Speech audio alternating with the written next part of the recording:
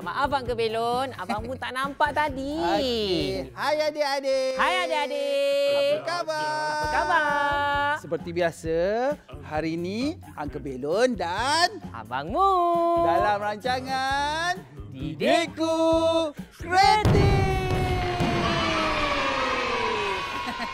Hai adik-adik. Ha, Uncle Belon apa khabar? Wah, sihat. Wah. Abangmu pun sihat-sihat. Abangmu harap adik-adik di rumah sihat seperti abangmu dan Uncle Belon. Yeay. Ha, jadi Uncle Belon, Ya. hari ini kita dalam rancangan Didikku Kreatif. Kita ada macam-macam lagi aktiviti Wow. yang kita akan buat sama-sama dengan adik-adik di rumah. Jadi, pinjamkan mata, pinjamkan telinga, kunci bahu kiri kanan, duduk bersama-sama dengan kami. Boleh? Bagus. Tak dengar, tak dengar. Boleh ke? Boleh ke?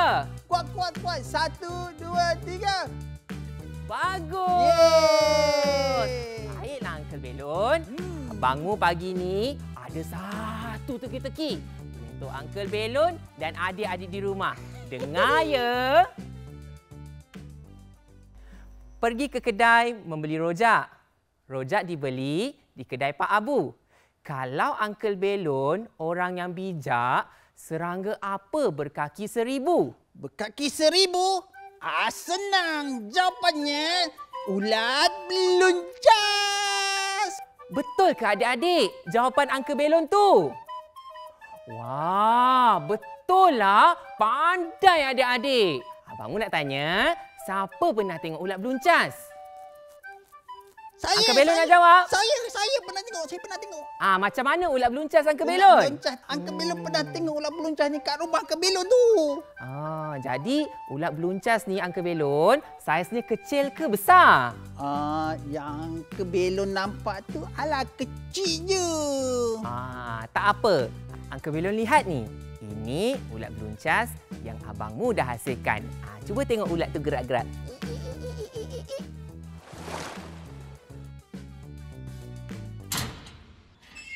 Sekarang adik-adik dah tahu apa itu ulat beluncas.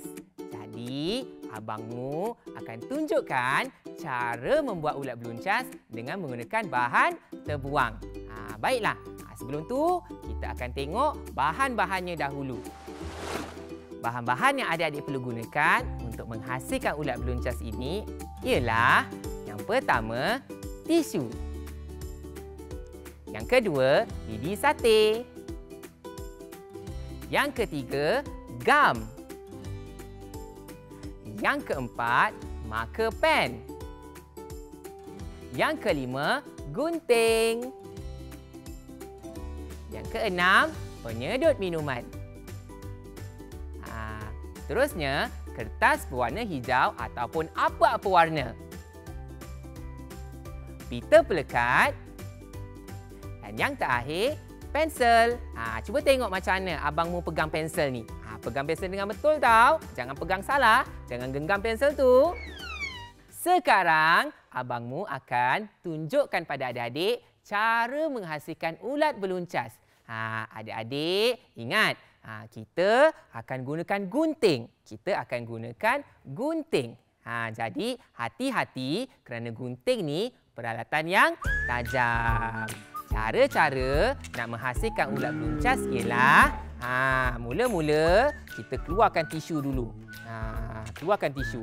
Kalau dekat rumah adik-adik ada tisu yang dah berbentuk segi empat, ha, gunakan sahaja. Tak ada masalah. Okey, keluarkan tisu ha, berbentuk segi empat.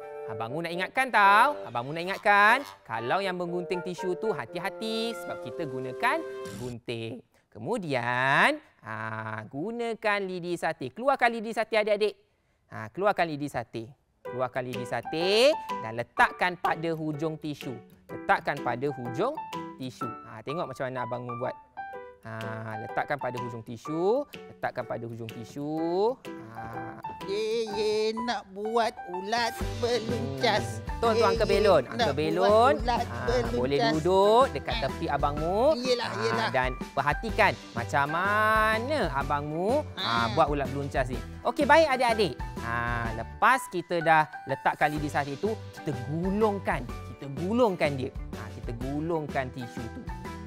Ha, Macam buat kuih gulung lah tu. Ha, betul tu. Ha, Uncle Belon nak tahu tak Ha. kenapa kita kena gulungkan tisu ni guna lidi sate? Kenapa? Supaya ulat beluncas yang kita hasilkan nanti tak berkedut-kedut. Ha, Oh. kemas, cantik je. Barulah menarik. Ha, barulah menarik. Ah. Barulah nampak betul-betul asli. Ah. Ha, Okey, gulungkan sampai habis. Ha, dah gulung-gulungkan. Dah gulung-gulungkan. Wow, hebatnya abangmu. Ha, mestilah. Kan abangmu kawan Uncle Belon. Ha, kita sama-sama hebat. Betul tak? Adik-adik pun hebat juga. Yalah adik-adik, ha, tumpukan perhatian dekat apa yang abangmu tengah buat ni. Ha, lepas kita dah selesaikan gulung, ha, tarik lidi sate ni keluar. Tarik lidi sate ni keluar, letakkan dekat tepi. Ha, Oh, kemudian, tu. ha, kemudian, ha, nampak tak? Ha, nampak tak kita dah ha, siap menggulungkan ha, tisu ni. Kita gamkan dekat hujung uh, hujung pangkal tisu ni. Ha, kita gamkan dia. Ha, tapi sebelum tu kita potong sikit lah. Kita Ah. potong sikit. Ha, biar ulat kita ni ha, jangan terlalu panjang. Kita potongkan sikit supaya tak terlalu panjang. Oh, guna gunting je. Betul tu. Ha, pesan sikit dekat adik-adik Ah, Uncle Belon. Adik-adik, ingat tu. Guna gunting tu tajam. Hati-hati takut okey. terpotong jari nanti luka keluar darah banyak pergi hospital nanti. Ha. Betul tu Uncle Belon. Terima kasih tau. Ha. Okey, jadi ha, kita gamkan dekat hujung ha, pangkal tisu tu. Gamkan Ha. dekat bahagian hujung di atas. Kemudian ha, tekan-tekan sikit eh supaya dia melekat. Tekan-tekankan sikit. Kemudian ha, gam dekat bahagian yang satu lagi. Nampak tu adik-adik? Ha, guna gam tau, Okey, guna guna gam. gam. Hmm. Okey, dah siap. Dah siap. Dah siap. Ha, kita ha, pintal-pintalkan sikit. Ha, Hmm. supaya ha, ulat kita tu ha, nampak apa tadi Uncle Belon? Nampak, asli. Nampak asli, nampak Ah, cantik, nampak nampak, cantik. menarik. Okey, Ha, macam dah Uncle Belon. ha, dah selesai. Kita tinggalkan dulu kat tepi. Uncle Belon, Ha, apa dia abangmu nak tanyalah. Ulat beluncas ni lah. tinggal dekat mana?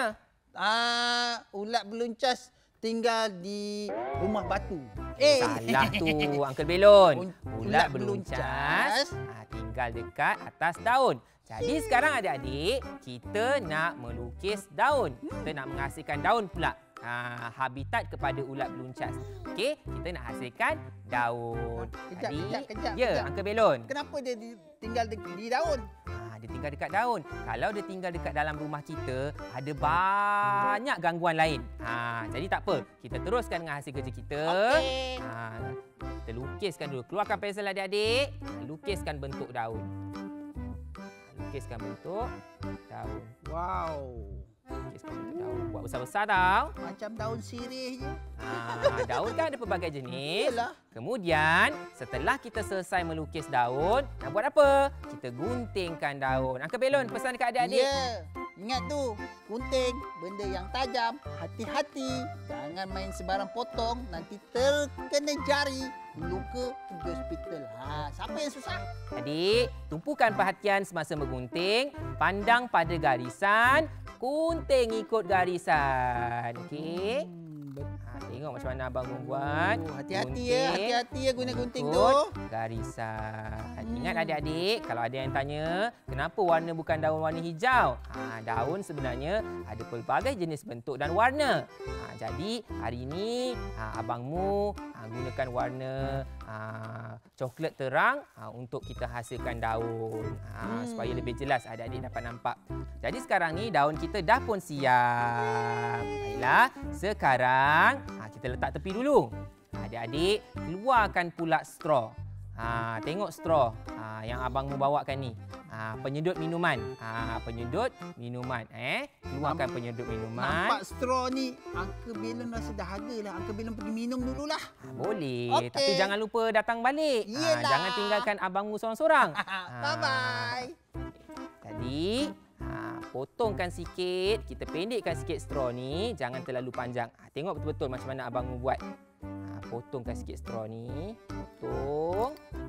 Kemudian straw yang dah potong tu kita lekatkan di bahagian belakang daun. Kita lekatkan di bahagian belakang daun. Ha, nak lekat guna apa adik-adik? kita lekatkan guna pita pelekat. Jangan lupa eh pita pelekat, keluarkan pita pelekat dan potong kemudian tampal. Okey. Ha, tampalkan pada bahagian belakang daun. Ha, tampal pada bahagian belakang daun.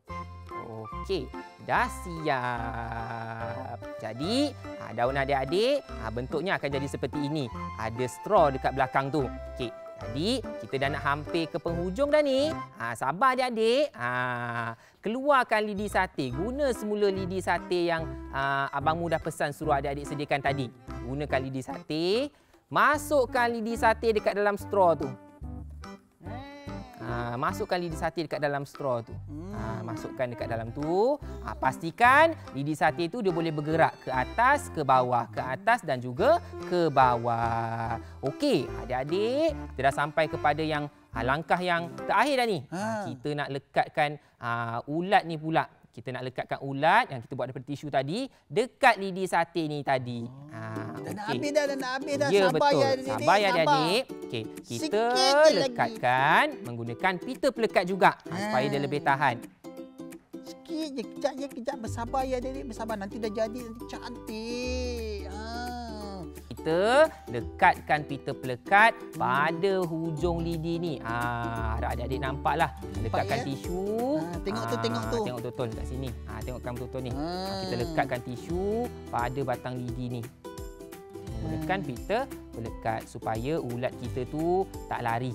Senang kan? Senang kan? Ha, mestilah senang. Ha, mudah Ha, saja. Sebab tu abangmu yakin adik-adik di rumah boleh buat dengan lebih baik lagi. Dah lekatkan atas, lekatkan dekat bawah pula. Ha, ingat tu kau guna gunting tu hati-hati tau. Okey, kita dah sampai kepada penghujung aktiviti. Yeay. Okey, kalau siap, dah tengok dekat siap, nak sini ada satu benda yang kurang. Apa tu? Ah, cuba tengok apa yang tak ada dekat ulat beluncas kita ni. Hmm, Apa yang tak ada dekat ulat beluncas kita ni? tak ada. Ha, tak ada mata. Ha, tak ada mata dan juga Yelah. kakinya. Jadi keluarkan marker pen adik-adik. Kita nak buat mata pula. Ha, senang je. Senang sahaja. Kita warnakan, kita warnakan kepala ha, ulat ni. Kita warnakan dekat bahagian hujung ni sebagai tanda ha, kepala ulat. Ha, warnakan dekat depan ni. Kemudian Warna apa-apa pun boleh ke? boleh warna-warni pun boleh Uncle Okey, Belon. okey. Ha, kemudian kita titikkan dekat uh, badan uh, ulat ni ha, sebagai tanda kaki dia. Satu, dua, tiga, empat, lima, enam, tujuh. Banyaknya Ah. kaki dia. Mestilah ulat Hmm. beluncas kalau ada yang tahu adalah serangga yang paling banyak kaki. Ha, hari ini kita belajar menghasilkan ulat beluncas.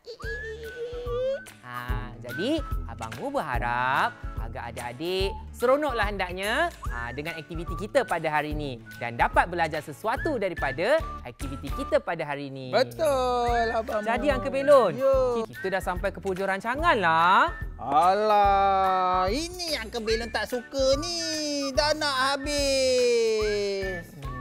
Tapi tak apa, adik-adik di rumah ha, teruskan menonton rancangan ini. Ha, jangan lupa, ha, ada banyak lagi aktiviti-aktiviti yang kita akan buat bersama nanti. Yeay. Ha, jadi, teruskan menonton rancangan Didikku Kreatif bersama dengan abangmu.